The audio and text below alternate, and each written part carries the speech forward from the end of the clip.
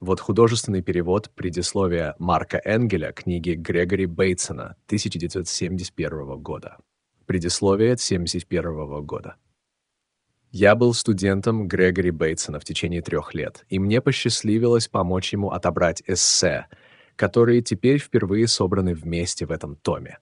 Я убежден, что эта книга невероятно важна не только для тех, кто занимается поведенческими науками, биологией и философией, но особенно для моего поколения — поколение, родившегося после Хиросимы, которое ищет лучшее понимание себя и своего мира. Главная идея этой книги заключается в том, что мы сами создаем мир, который воспринимаем.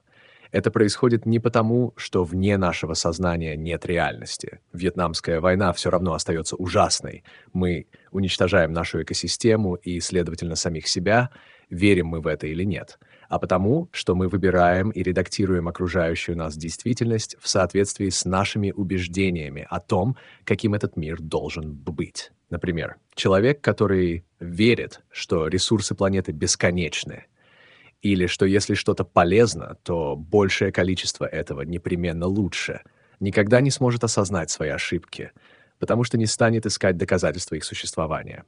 Чтобы изменить свои глубинные убеждения, формирующие восприятие реальности.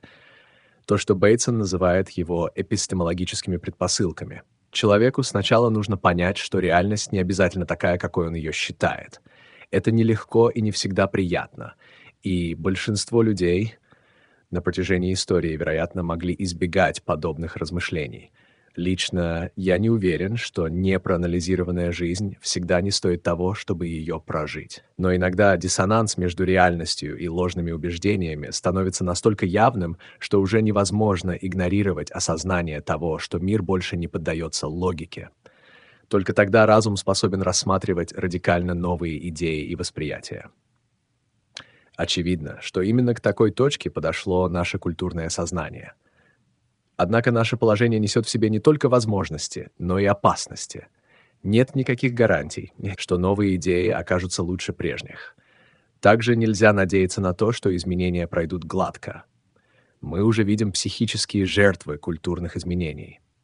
Психоделики стали мощным инструментом познания.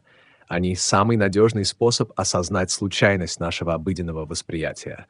Многие из нас вынуждены были их использовать, чтобы понять, как мало мы знали — Однако слишком многие потерялись в этом лабиринте, решив, что если реальность не такая, как они представляли, то она вообще лишена смысла. Я знаю это место. Я сам был там. Насколько мне известно, есть только два пути выхода. Один из них — религиозное обращение. Я пробовал даосизм. Другие выбирают различные варианты индуизма, буддизма и даже христианства. А в такие времена всегда появляется множество самопровозглашенных мессий — Некоторые, кто изучает радикальные идеологии, делают это по религиозным, а не политическим причинам. Этот путь может удовлетворить некоторых, а всегда существует опасность скатиться в сатанизм. Но я думаю, что те, кто выбирает готовые системы убеждений, теряют шанс на действительно творческое мышление, а, возможно, именно оно и способно нас спасти.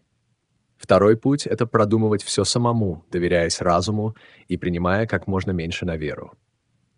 Интеллектуальная деятельность, от науки до поэзии, не пользуется популярностью в моем поколении.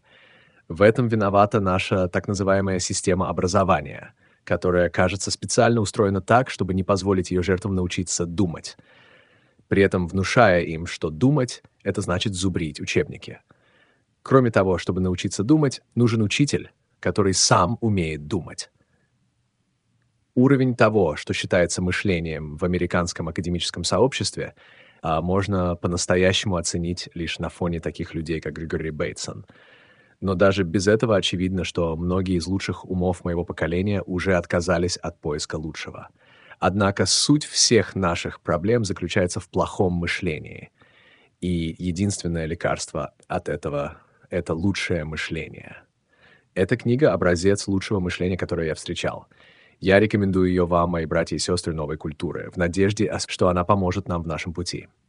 Марк Энгель, Гонолулу, Гавайи, 16 апреля 1971 года.